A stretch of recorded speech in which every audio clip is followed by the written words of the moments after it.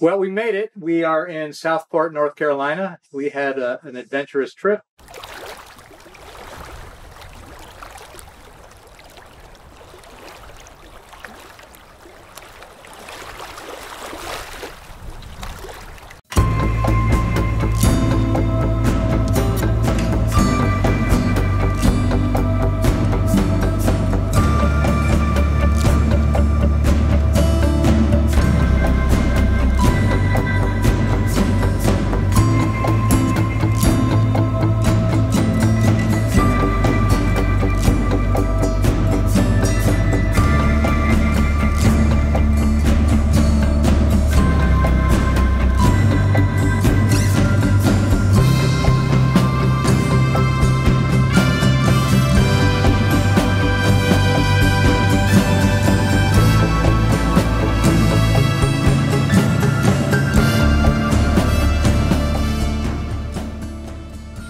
How many miles did we go?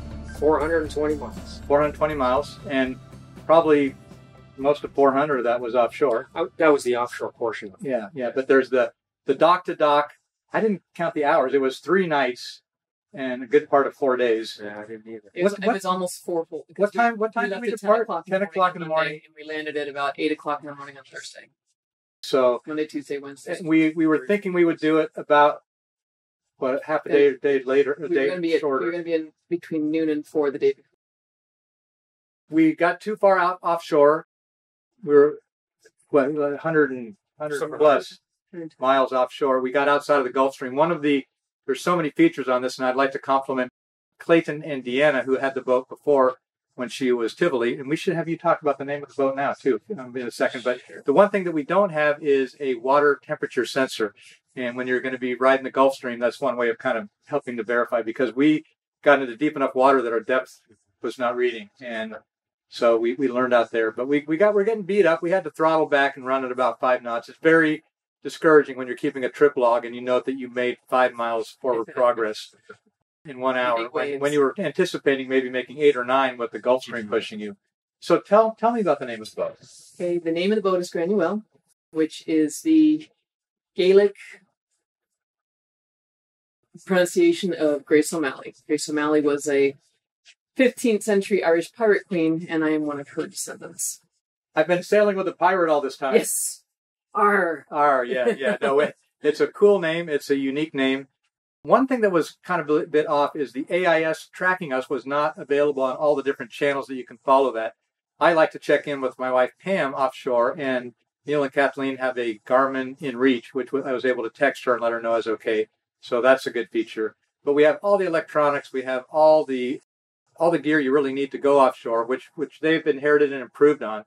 We did our pilot house watches. We worked on a check sheet for that on a clipboard, and we also had one in the engine room to make sure we were monitoring everything. Uh, we were doing an engine room check as you came on watch at night. During the day, we did it more closely to on the hour, but we now have some pretty good values to summarize. So when you use the infrared temperature gun and you shoot a spot, you can have a pretty good range instead of having to record it all the time. And we talked about what you need to do kind of on a fast engine room check if it's really rough versus doing the full thorough tour. And we've also talked a little bit about the flow to maybe make it easier and smoother for next time. Maybe have three or four places to sit in the engine mm-hmm. room to get the values you want. And and then in the pilot house, the, the flow was we were going jumping around a little bit to get things. We're just going to talk about fine tuning, but you don't know until you get out there. We we have the data now, and we had a good report. Neil, what was your favorite part of the trip? You, know, I think experiencing the rough conditions. Just, I wouldn't want to do it again necessarily, plan it that way, Yeah. but to to exercise this this vessel, to exercise, uh, see how well we could handle it, uh, with with you on board. Yeah, well, it's comforting to have somebody who's done something like this before, uh, and that was the whole idea when we when you guys purchased the boat uh, six months ago. We had blocked this week off, and Right, right. uh, I'm uh, prone to say that the most dangerous thing you can have on a boat is a schedule. Yeah. Mhm. But the weather looked good enough. It wasn't as friendly out there as we thought. Right. The wind never really got much over 20 knots, No, but but the sea was lumpy, and the only thing you can really do is adjust your course or go a little bit slower, which we had to do both both. of those. Mm-hmm. Yeah, yeah. What about your first time at the helm at night? What were you thinking? I was scared. I mean, I was nervous leading up to it. I won't say I was scared. I just didn't quite know what it'd be like to steer in darkness. and just go totally on instruments like a, a pilot flying Trust, an airplane. trust them, right? Trust them and trust me to know to catch everything. We do have a lot of very good instrumentation that makes me feel more comfortable. Yeah, there's 30 or so things in the pilot house that we're monitoring Yeah, yeah, and all the time and then recording every hour. and I especially having both the near and long distance radars was very helpful, Yeah, two radars. and having our our plotter there was a good thing. It it all having it all available made me feel a lot more secure, and I had other people tell me often you won't even notice it. You'll just get used to looking at the radar, and it won't be a big deal. And I agree with that. It But when you're looking forward at nighttime, you're not seeing the waves. So that last last hour or two of twilight, you kind of have to get the speed right, and and the angle. yeah, because you don't want to go clunking, clunking. I did not spend one night up in the forward cabin, uh, which was my deal. I actually was up there at one point using the toilet. It's just sanitary and safer to sit down on the toilet. I went flying. I was a flapjack up there one time, and uh, but that's part of it. We do have two heads on the boat. They're both forward. You have to go down the stairs, which can be a little bit dicey at night. There's a safety leash across the rails there to keep you from falling down, but we just left it on most of the time and just limboed underneath it. Uh, and we found when it was really rough, of course, it was much safer to sleep further out. The VIP stateroom on this boat is the starboard settee. Uh, and and Right. I slept on the floor one night. Mhm. Fine. I mean, you're tired. You want, and you need to get that sleep so you're ready. Right. Once it settled down, it was nice to sleep in the stateroom. We did have one uh, incident where we lost the air conditioning, and uh, Neil was brave enough to volunteer to go back to the lazarette and reprime the pump, which fortunately is something he had learned before he'd done. I mean, you really know need to know how to bleed the engine if you lost fuel, which was never an issue for us. Neil was responsible for our fuel selection, and he did a great job because we came back into the dock and we're very level, so we consumed about the same amount of fuel on both I sides. I stared at those valves for a while before I turned. yes. yeah. I don't want, I don't want to get this wrong. clear. Yeah, yeah. The supply and the return and which side. So no, well done because we're we're nice and level now. What was interesting for you about engine room checks?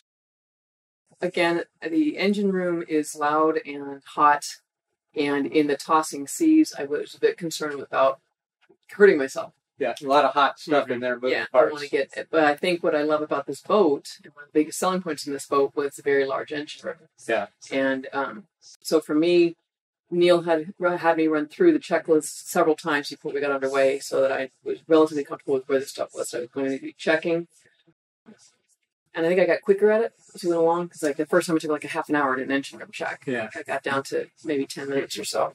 Um, just understanding. You kind of learn where you need to sit and how you need to hold the gun, Yep. where you need to position yourself in recording. So we have all these values now, which we can now summarize so that when you shoot position number 17, you know it's between 170 and 180 is normal, and you can just shoot it. We'll put 170 to 180 there, and if it's if it's you know below that, you're probably fine. If it's over that, something may have changed. But uh, part of this trip was to gain the confidence of going offshore and also gather that information both in the engine room and in the pilot house. We did plot on the paper chart Mhm. as well, so we lost things. Um, and we did have a turnaround at one point. The, um the crane sticks out over the starboard rail, and the lines that were securing them were not taut. They kind of loosened up, and we just didn't want that thing flopping around, possibly um, damaging it. So we did have to retreat at one point, turn back, give up some hard fought ground. And Neil and I communicated. Uh, he put the safety harness on, went out there. I was out the door, uh, sticking my head out the door on the on the uh, starboard side, talking to him. But I we didn't discuss the maneuver before he went out there, and so we lost a little more ground with that. But now he knows how to do a trucker's hitch, and I was able to show him how to do it using an iPhone cord, which learning how to tie a new knot under duress. under duress. Yes, yes.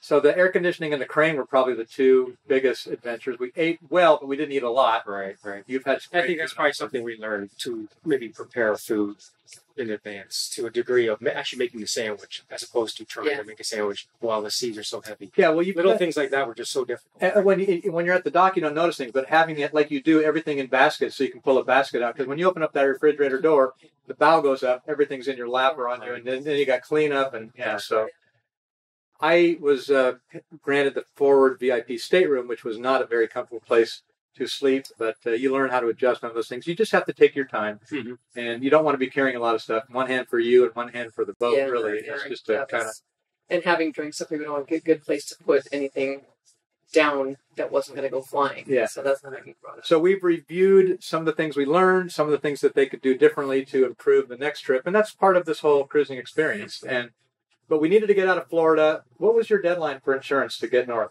I believe it was uh, July 1st. Okay, so So we had two kind of two weeks. yeah, and so we're ten days ahead of schedule, and you know the weather was cooperating enough.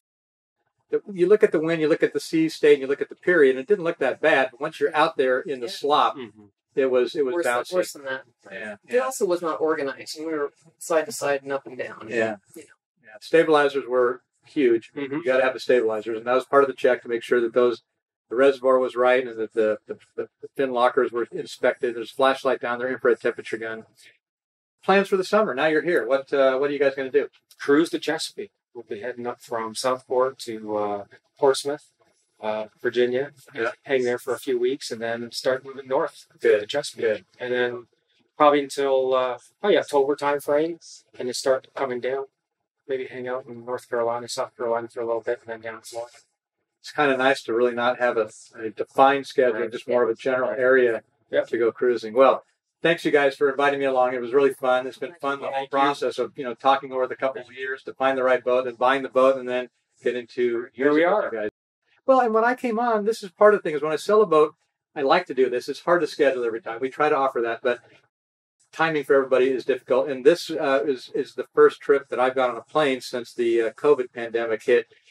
Train the plane travel was not a lot of fun, but it was really fun being out here with you guys. And I think a lot of the people in the marinas are, you know, mindful of that. We're just not. You guys aren't going to be interacting as much with Right. people in the community, and you've got your own social distancing Mhm. vessel here to go out cruising with. So, uh, anything either of you guys want to add to this? No, just it, uh, a lot less. I, like I'm glad we've done it, and I feel more, more comfortable with the thought of doing overnights now. Yeah. I don't know if I want to do you know multiple weeks of it, but um, I I now know we can do it, and I agree. It's With, coastal cruising, right? It's much more comfortable going offshore.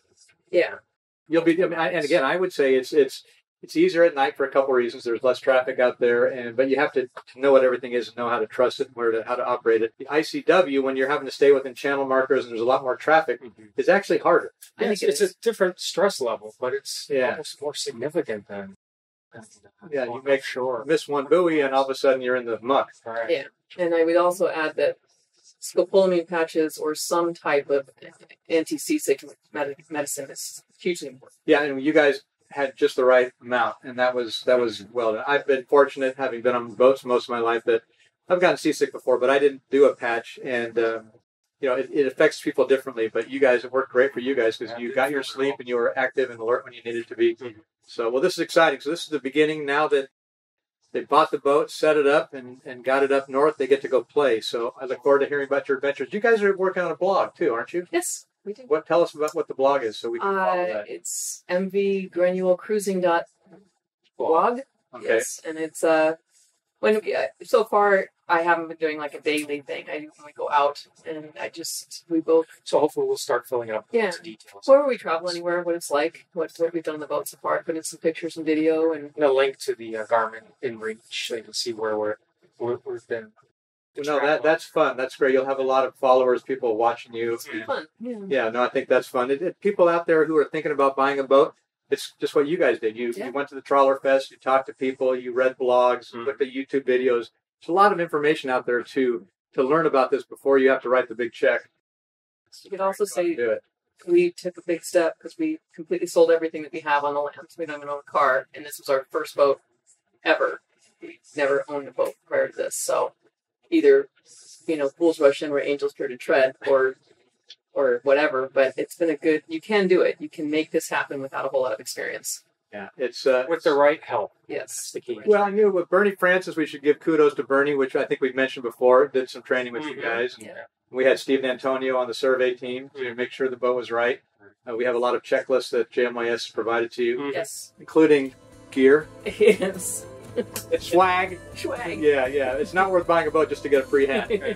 Uh, well, actually, that the, the hat was how much you pay for the boat, and everything else was free. So, So great. Well, it's been a lot of fun. Yes. Thank you. I look forward to coming back. Maybe I can bring Pam back. Yes. We'll go to Bahamas, man. Yeah, yeah. She's been told that twice before, and we Yeah. the weather was She's not a frightful. believer. Huh? Yeah, well, Pam, if we can make it work, we will. So, well, thanks everybody. Thanks for watching, Neil and Kathleen. All the you. success to you guys, and Thank keep in touch. I'm just a phone call away. Yes. If I see you calling, I will answer. I know. All right, good. All right, see you, everybody. Thanks. Bye bye.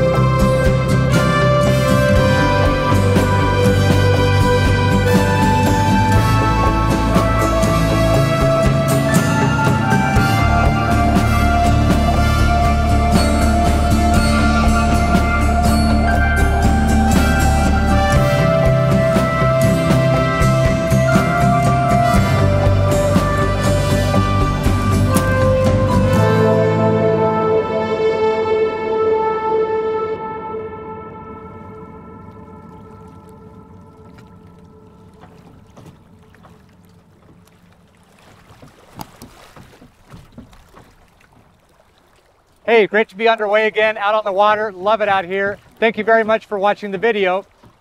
We have a couple of things you can do. One thing is you can click the bell to get a reminder when we post the next video. We love it when you give us those thumbs up. And then you can subscribe by clicking the button below. Once you've seen a couple videos, you might also want to check out some of the other ones. So you can click on one of these videos on the side. Thanks. We hope to have you come back here soon, and we'll be putting up more content shortly.